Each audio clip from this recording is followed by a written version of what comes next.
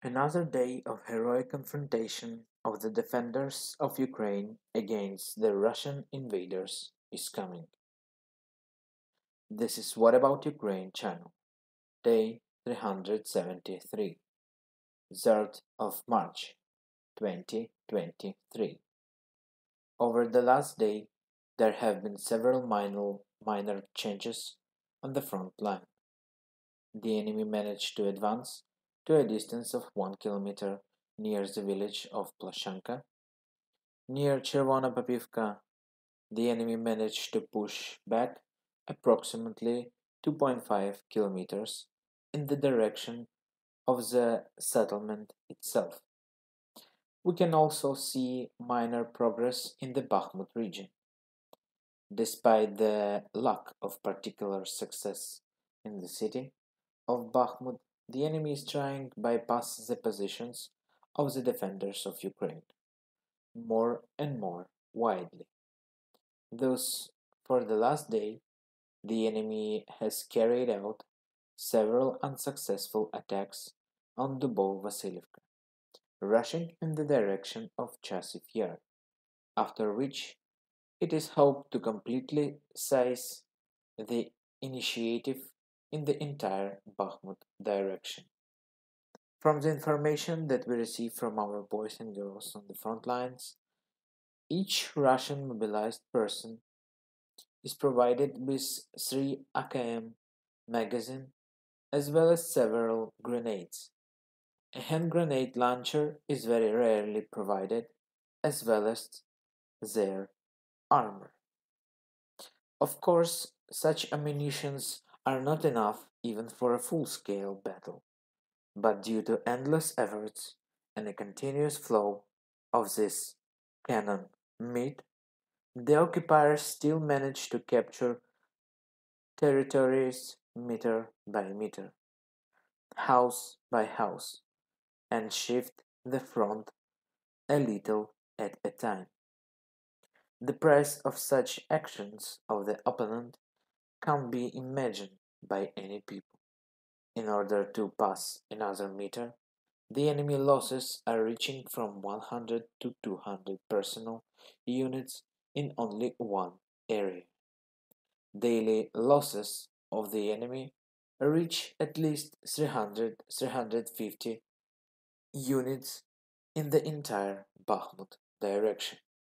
The Ukrainian side also suffers losses but the ratio is about 1 Ukrainian to 7 Russians. Regarding the outskirts of the city, the enemy concentrates his efforts on the advance in the north and in the south due to massiveness, relentlessness, and irrepressibility. Over the last day, the enemy managed to capture the area of the meat processing plant establish fire control of the over a section of the Chasiv Yar Hromovo Bakhmut road, as well as over the city of Hromovo itself. From the east, the enemy continues to be held back. Battles are taking place along the Bakhmutka River and the nearest streets. Attacks from the cemetery were repulsed. The occupier advanced one block near the pond. The Ivanivsky Bakhmut road continues to hold defense. All enemy attacks on this section are unsuccessful. Further along the road to Konstantinovka is the settlement of Stupochki. Here, the enemy is also trying to conduct offensive actions aimed at repeating two successes of the invaders from the northern side. Thanks to the armed forces of Ukraine in this area, nothing significant is happening here. All other directions, although without significant changes, but with no less fierce battles and insane losses on both sides.